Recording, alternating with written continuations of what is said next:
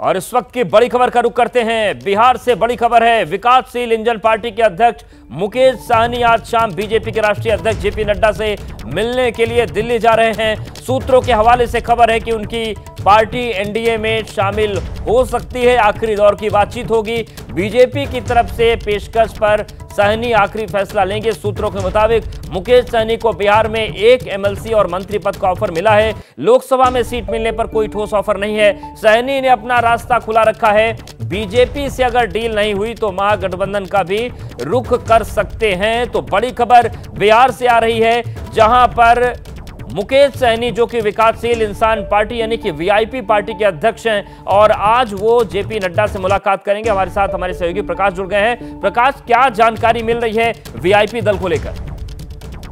देखिए जो सूत्रों के अनुसार जो जानकारी मिली थी कि पहले तो वो दिल्ली गए थे और फिर शाम लौट आए कल लेकिन आज फिर से उनको बुलावा आया है और शाम में वो फिर निकलेंगे दिल्ली के लिए और फिर वहाँ पर जेपी नड्डा से मुलाकात हो सकती है और आखिरी दौर की ये बातचीत होगी जिससे ये तय होना है कि मुकेश सहनी एनडीए में शामिल होंगे या नहीं क्योंकि जो ऑफ़र मिल रहे हैं उसके मुताबिक मुकेश सहनी का ये कहना है कि उनकी एक शर्त है आरक्षण को लेकर के जो सहनी जाते हैं, उसको आरक्षण देने की, को लेकर के कुछ आश्वासन मिले।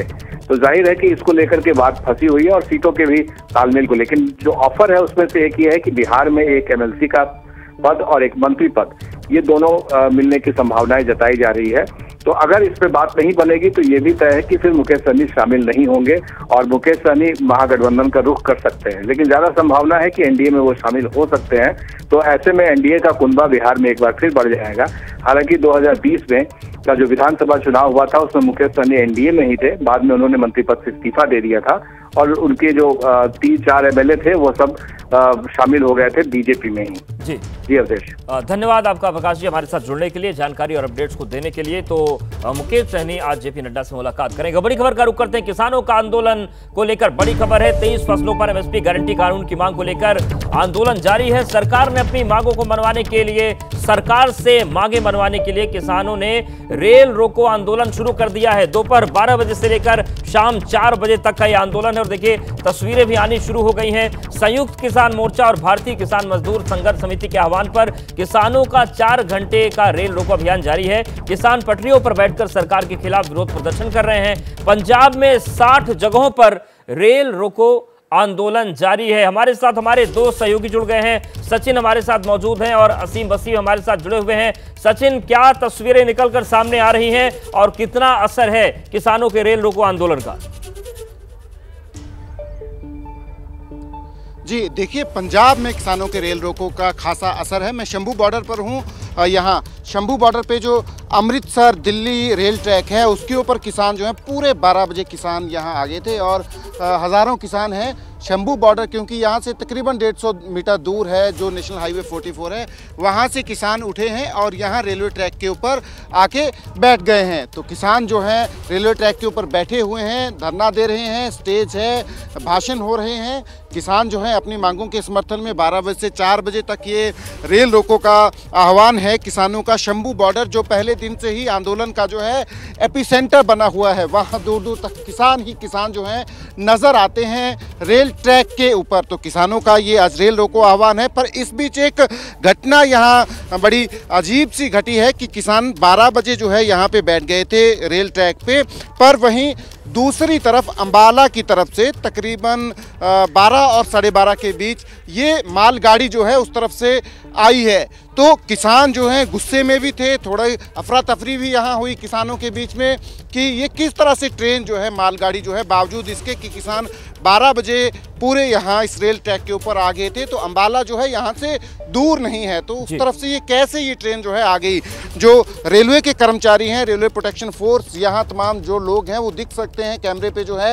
ये खुद हैरान थे हालाँकि इनमें से कोई कैमरा पे आके बोलने को तैयार नहीं है पर ये लोग खुद हैरान थे कि बावजूद इसके कि तमाम सूचना जो है साझी कर दी गई है तमाम अधिकारियों के साथ कि किसान बड़ी संख्या में शंभू बॉर्डर नाराज़गी देखने को मिली हमारे साथ हमारे सहयोगी असीम बस्सी भी मौजूद हैं। असीम क्या तस्वीरें नज़र आ रही हैं रेल रोको आंदोलन को लेकर? जी हाँ मोहाली में है लालड़ू रेलवे स्टेशन पर और आप देख सकते हैं किस तरह किसानों ने क्योंकि आज 12 से 4 का आ, कॉल दिया था और आप देख सकते हैं तस्वीरों में किस तरह रेल ट्रैक पर किसान यहाँ पर बैठे हैं। और लगातार 12 बजे से धरना जारी है क्योंकि ये जो एजुटेशन शुरू हुआ होता है तेरह तारीख से तब से लगातार प्रोग्राम दिया हुआ था। और आज ये अम्बाला चंडीगढ़ चंडीगढ़ डेली जो आगे कनेक्ट करता है वो रेल ट्रैक है और पूरी तरह यहाँ पर जो रेल ट्रैफ़िक है वो ब्लॉक है। कोई भी ट्रेन ना आ रही है ना जा रही है। तो डेफिनेटली जो किसान है वो ज़्यादा इसको एक्सप्लोरेट कर रहे हैं जो पूरा एजुटेशन है। हमारे साथ कुछ किसान लीडर भी हैं। जी क्या नाम है आपका? मैं मंजीत सिंह राष्ट्रीय अध्यक्ष भारतीय किसान मजदूर आपने आज रेल रोको दिया था। क्या कारण है? क्यों आप ये रेल ये जो जो आज हमारे रेल रोको दिया था दोनों फोरमों की तरफ़ से किसान मजदूर मोर्चा और एस गैर राजनीति की तरफ़ से। जो आप देख रहे हो भी जो सेंटर सरकार है जो निर्दयी रूप में किसानों के ऊपर तसद कर रही है उसके कारण ये रेल रोको आंदोलन आज किया गया था बारह बजे चार बजे तक। जो पूरे भारत में सक्सेसफुल हुआ है, क्योंकि बाहरले जो स्टेट है हमारी पंजाब के सिवाय, उनमें से भी हमारे पास मैसेज आ रहे हैं, बहुत बढ़िया रहा है ये प्रोग्राम और आगे भी, जो कॉल होगी बढ़िया रहेगी सो आप देख सकते हैं कि पूरे पंजाब में 60 जगह पर है लेकिन दूसरे सूबों में भी ये हो रहा है। सो सक्सेसफुल रहा है आज यहाँ पर रेल रोको। पूरी तरह जो ट्रेन की आवाजाही है वो पूरी तरह ठप है। बारह बजे शुरू हुआ था और चार बजे ये लोग यहाँ से उठ जाएँगे। लेकिन ये संकेत दिए थे कि एक्सेलरेशन और करेंगे जो पूरा एजुटेशन फार्मर्स का यहाँ पर चल रहा है खास करके एमएसपी को गारंटी लॉ बनाने के लिए। और जो तस्वीरें दिख रही है उससे ये समझ में आ रहा है कि इनका जो भारत से चार का कार्यक्रम है वो सफल भी हो रहा है। बहुत धन्यवाद असीम आपका सचिन आपका भी बहुत शुक्रिया। तो 12 बजे से लेकर 4 बजे तक किसान संगठन जो है, वो रेल रोको आंदोलन शुरू कर चुके हैं और उसकी तस्वीरें अलग अलग जो सामने आ रही हैं, वो भी हम आपको दिखा रहे हैं। लोकसभा चुनाव से पहले हरियाणा में बीजेपी को बड़ा झटका लगा है। बड़ी खबर हिसार से है, जहाँ पर सांसद ब्रजेंद्र सिंह कांग्रेस में शामिल हो गए। पूर्व केंद्रीय मंत्री चौधरी बीरेन्द्र सिंह के बेटे हैं ब्रजेंद्र सिंह। ब्रिजेंद्र सिंह ने बीजेपी से इस्तीफा दे दिया है और अब कांग्रेस में शामिल हो गए हैं। आज सुबह ही उन्होंने इस्तीफा दिया था। अपने पार्टी आला कमान का उन्होंने शुक्रिया किया।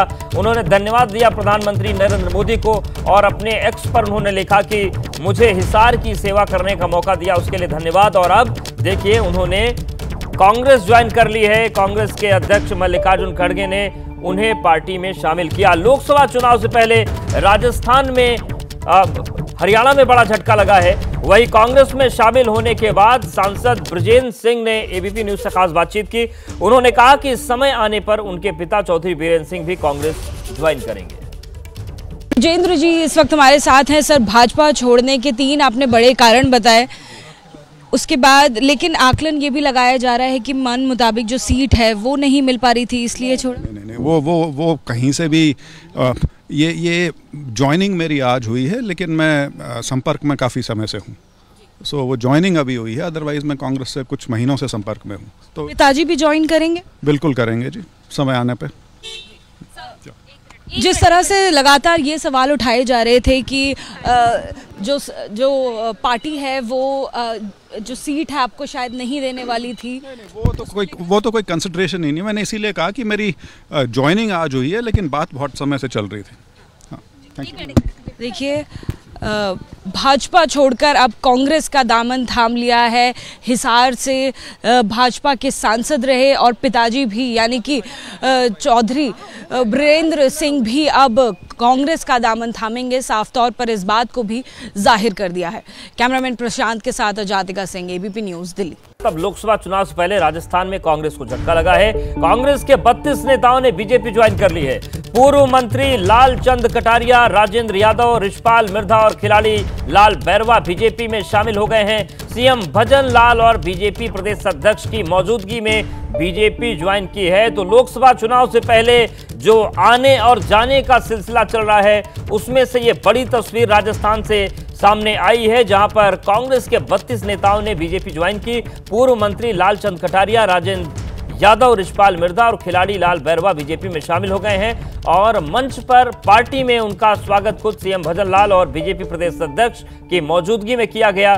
तो कांग्रेस को यह झटका लगा है हरियाणा में जहाँ बीजेपी को झटका लगा, वहीं कांग्रेस से ये तस्वीर सामने आ रही है। और बड़ी खबर, महाराष्ट्र से भी है, महाराष्ट्र से बड़ी खबर है, सीट शेयरिंग को लेकर कांग्रेस और उद्धव की पार्टी में तनातनी बढ़ गई है। कांग्रेस नेता संजय निरुपम ने शिवसेना उद्धव पर सवाल उठाए। उन्होंने सोशल मीडिया पर पोस्ट किया है। उत्तर पश्चिम मुंबई की भी सीट है।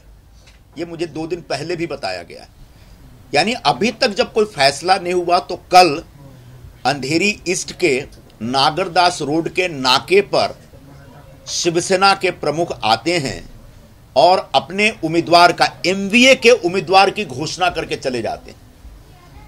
सबसे पहली बात, यह गठबंधन धर्म का उल्लंघन है। जब तक एमवीए फाइनल लिस्ट नहीं करती और अधिकृत तौर पर घोषित नहीं करती, तब तक कम से कम उन सीटों पर जिन सीटों पर आज भी दावेदारी चल रही है अलग अलग पार्टियों की तरफ़ से, उन सीटों पे अपना उम्मीदवार घोषित कोई नहीं कर सकता। इसलिए मैंने कहा कि पूरी विनम्रता पूर्वक मैंने खासकर शिवसेना और कांग्रेस के नेताओं से सवाल पूछा दूसरी बात यह है कि जिस उम्मीदवार को लेकर के आग्रह है, वो उम्मीदवार कौन है? वो उम्मीदवार यहाँ के जो खासदार रहे हैं, उनके सुपुत्र हैं। और वो ऑलरेडी ईडी घोटाले ईडी की छानबीन में ईडी की जाँच में पकड़े गए हैं। और घोटाला क्या भाई? खिचड़ी घोटाला। अब मैं ये बोलूँगा तो लोग बोलेंगे, साहब आप शिवसेना पे आरोप लगा रहे हैं। लेकिन सच तो यह है कि खिचड़ी घोटाला हुआ। सच यह है कि जो खिचड़ी कोविड के जमाने में जो गरीब मजदूर लोग थे, मुंबई में रहने वाले लोग, खासकर उत्तर भारत के लोग जो थे, उसमें दक्षिण भारत के भी लोग थे और मुंबई से बाहर महाराष्ट्र के अलग अलग जिलों से भी आए हुए मजदूर वर्ग के लोग थे उन सारे मजदूरों को जो तकलीफ़ हो रही थी कोविड के ज़माने में, उनके पास खाने खाने को एकदम तकलीफ़ थी दाने दाने को मोहताज हो गए थे। ऐसे गरीब मजदूरों के लिए एक बहुत ही सुंदर अच्छा अभियान महानगर पालिका की तरफ़ से शुरू किया गया था और इन गरीब मजदूरों को फ्री में, मुफ़्त में खिचड़ी बांटा जाता था। उस कुछ खिचड़ी के बहुत सारे पैकेट मेरे पास भी आए थे और मैंने भी यहाँ बहराम बाग में और अलग अलग जगहों पे मैंने भी बांटे थे। तो संजय निरुपम को आपने सुना, कांग्रेस नेता संजय निरुपम के हमले के बाद शिवसेना, यूबीटी के प्रवक्ता आनंद दुबे ने उन पर पलटवार किया है। तो आरोप प्रत्यारोप का सिलसिला चल रहा है। संजय निरुपम ने शिवसेना उद्धव गुट पर सवाल उठाए। उन्होंने कहा कि एमवीए का उम्मीदवार अपने मन से घोषित कर देना गठबंधन धर्म का उल्लंघन है। गठबंधन धर्म का पालन नहीं किया गया है। इसके साथ ही साथ प्रत्याशी का जो ट्रैक रिकॉर्ड है, उसको लेकर भी संजय निरुपम ने बात की। अब प्रवक्ता आनंद दुबे ने उन पर पलटवार कर दिया है। पश्चिम लोकसभा की सीट 2019 में हमने जीती है तो हमारा अधिकार है। हम चाहे आज कैंडिडेट उतार दें, चाहे कल उतार दें। संजय निरुपम जी, कांग्रेस पार्टी के एक नेता हैं, एक व्यक्तिगत उन्होंने अपनी एक इच्छा ज़ाहिर की है, कुछ चुनाव लड़ना चाहते हैं तो वो कांग्रेस पार्टी से कहें, न कि सोशल मीडिया प्लेटफॉर्म पर या खुलेआम कहें। अब कांग्रेस पार्टी उन्हें कितने गंभीरता से लेती है, नहीं लेती है, कांग्रेस पार्टी जाने हमारी पार्टी शिवसेना का सीधा मतलब है कि जो सीटों पर जो 19 में जीता था, वो सीट मांग रहा है, उसका उम्मीदवार वहाँ से लड़ेगा। तो इसमें कोई विवाद भी नहीं है, कोई मतभेद भी नहीं है। कांग्रेस पार्टी के शीर्ष नेतृत्व से हम संपर्क में भी हैं तो किसी को किसी समस्या होने का कोई कारण नहीं शिवसेना उद्धव ठाकरे गुट के राज्यसभा सांसद संजय राउत ने जवाब दिया है। उन्होंने दावा किया कि सभी सीटों पर फॉर्मूला तैयार हो गया है। महाविकास आघाड़ी का डर इतना है। उद्धव ठाकरे जी, शरद पवार जी का डर इतना है, ये लोगों के मन में ये बौखला गए हैं। अड़तालीस सीटें हैं। महाविकास आघाड़ी फोर्टी प्लस की तैयारी में है। हमारा कोई वो अमित शाह जी आए थे, मिशन फोर्टी फाइव वो तो कमीशन फोर्टी फाइव है। हाँ वो कमीशन वाले, मिशन, हमारा मिशन है। हर सीट पर जीतेंगे और लड़ेंगे। तो देश की सत्ता सत्ता में जो परिवर्तन होगा तो महाराष्ट्र की भूमि से होगा। इस वक्त की बड़ी खबर का रुख करते हैं, शाहजहां शेख की रिमांड फिर से बढ़ा दी गई है। कोर्ट ने चार दिनों की सीबीआई रिमांड पर भेजा है। ईडी पर हमले के मामले में आरोपी है शाहजहां शेख।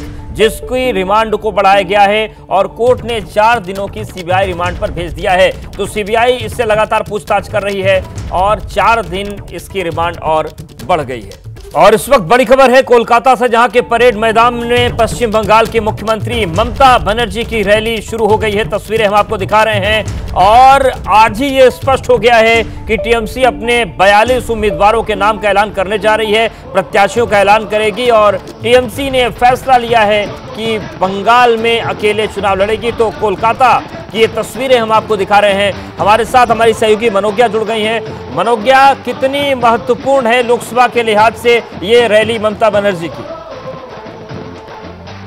जी, बहुत महत्वपूर्ण है क्योंकि 2024 के पहले ये तृणमूल कांग्रेस का शक्ति प्रदर्शन है। बंगाल में ही नहीं, बल्कि पूरे देश के लिए तृणमूल कांग्रेस का।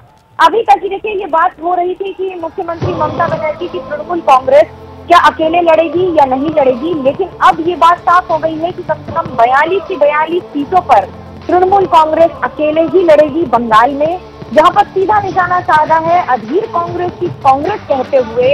अभिषेक बैनर्जी ने, जो कि राष्ट्रीय महासचिव हैं तृणमूल कांग्रेस के, और मुख्यमंत्री ममता बनर्जी के भतीजे भी हैं, बहुत दिलचस्प आंकड़े आने वाले हैं। लेकिन उसके साथ साथ अगर मैं बंगाल की बात करूँ तो ये कहना गलत नहीं होगा कि आज की इस रैली में जहाँ एक और मुख्यमंत्री ममता बनर्जी अपना शक्ति प्रदर्शन कर रही है ब्रिगेड में जो कि सबसे बड़ा मैदान है पश्चिम बंगाल का और उसे भरने के लिए लाखों की तादाद में लोगों को बुलाना और उनका वहाँ मौजूद रहना ज़रूरी होता है।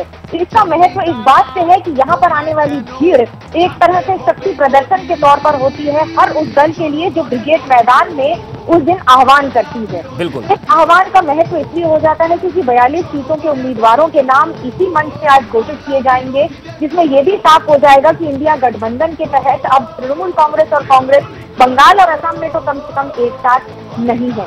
तो वही दूसरी पर अभिषेक बनर्जी ने जो थोड़ी ही देर पहले बिल्कुल पूरी सियासी खबर पर नज़र बनाए रखिएगा। आपके पास फिर आते रहेंगे अपडेट्स के लिए। फ़िलहाल बहुत धन्यवाद आपको हमारे साथ जुड़ने के लिए जानकारी देने के लिए।